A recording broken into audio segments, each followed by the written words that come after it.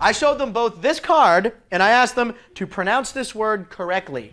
So, what do you think, guys? Who blew it? Was it Vonda or Steven? Did not know the answer to that one.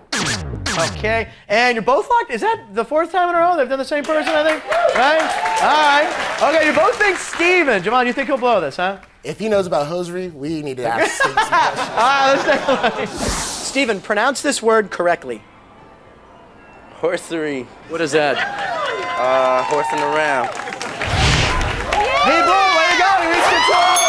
Nice job. You got $200. Vonda has the correct answer. Pronounce this word correctly. Hosiery. Right. Do you ever wear hosiery? Yes. Yeah, but you know, not tonight. It's a nice day. Oh, don't look at my legs. Why? You have beautiful legs. know. Yes, you do. Nice and tan. You're strong. Yeah. I mean, I'm not coming on you. I'm just saying you're, you're a very attractive woman. But my- I'm Italian. You know what I'm saying, huh? All right, that's the correct answer. Strong tan.